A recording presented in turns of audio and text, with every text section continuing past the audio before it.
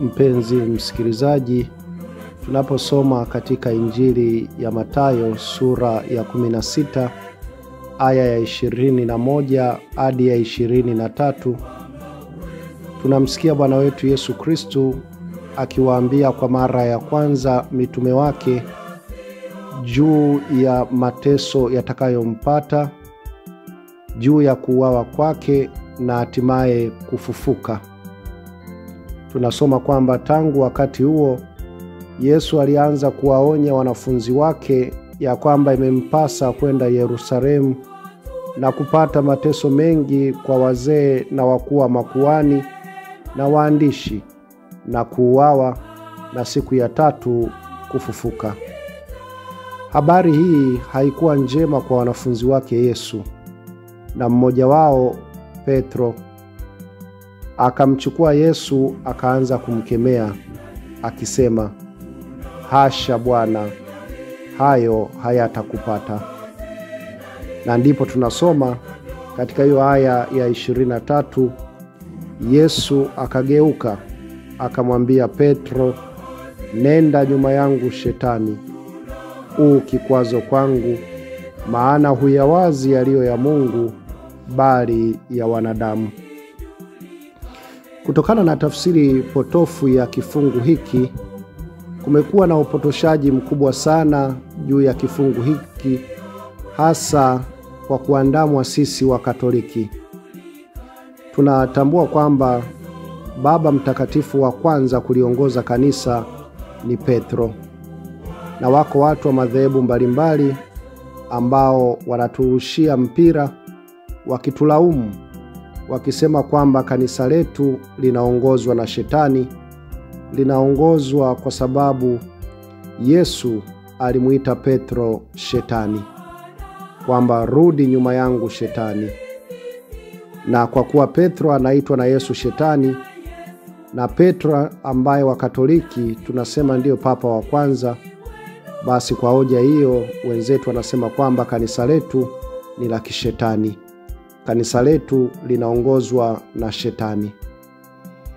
Lakini ili kuelewa maana halisi ya neno hilo kadiri alivyotumia Bwana wetu Yesu Kristo, ni vizuri kurejea katika lugha asili ya Agano Jipya.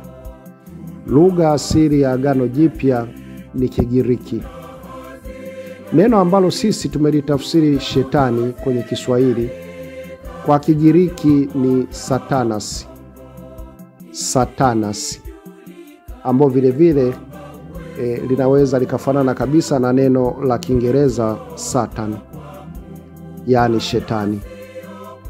Kwa kweli Yesu hakumaanisha kuwa Petro ni shetani, kiumbe ambacho tunakihusianisha daima na uovu.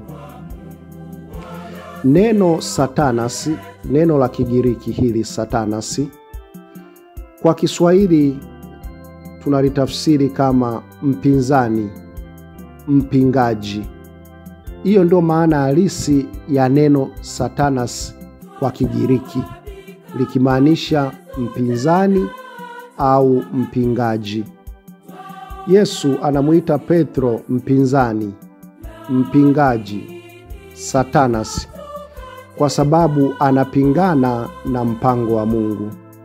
Mpango wa Mungu ni kwamba Masia Kristo ateswe, afe na afufuke siku ya tatu. Petro anapinga habari hiyo, na hivyo anakuwa mpinzani, na hivyo anakuwa mpingaji, na ndiyo maana Yesu anamwambia nenda nyuma yangu Shetani, nenda nyuma yangu mpinzani, nenda nyuma yangu mpingaji, huu kikwazo kwangu maana uyawazi yaliyo ya Mungu bali ya wanadamu. Kumbe yoyote anayepingana na mpango wa Mungu, yoyote ambaye ni kinyume cha mpango wa Mungu, huyo ni mpinzani, huyo ni mpingaji, huyo ni satanas, neno la Kigiriki ambalo kwa Kiswahili ni mpinzani au mpingaji, ambalo sisi tumelitafsiri shetani. Kwa nini tumetumia neno shetani? Kwa sababu tunajua kabisa kwamba daima shetani ni mpinzani wa mpango wa Mungu. Daima shetani ni mpingaji wa mpango wa Mungu. Mungu anakusudia hiki, yeye anakwenda kinyume, anawashawishi wanadamu kwenda kinyume na mpango wa Mungu, na hivyo anakuwa mpinzani, anakuwa mpingaji.